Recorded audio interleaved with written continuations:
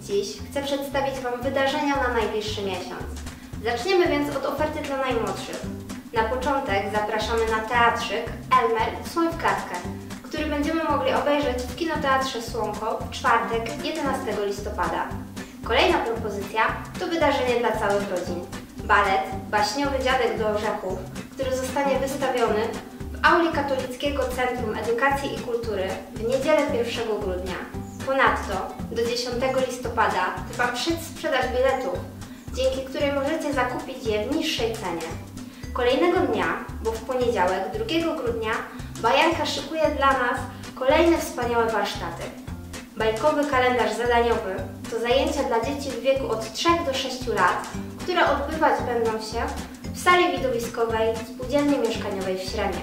W listopadzie obchodzimy też Światowy Dzień Pluszowego Misia.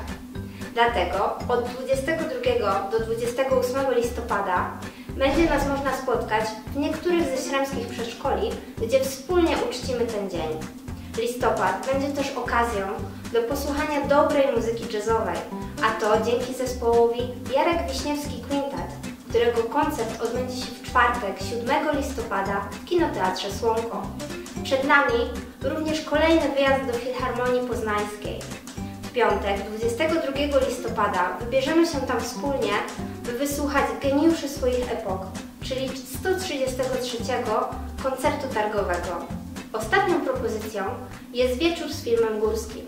W czwartek, 28 listopada, zapraszamy do Kinoteatru Słonko miłośników gór i wspinaczki na niezwykłe pokazy filmowe. A na koniec mamy do wydania zaproszenia na dwa z przedstawionych dziś wydarzeń. Co zrobić, aby je zdobyć? Wystarczy wysłać do nas poprawną odpowiedź na pytanie na adres bok małpasok.srem.pl w tytule maila wpisując Śremska Kultura Okiem Józefa.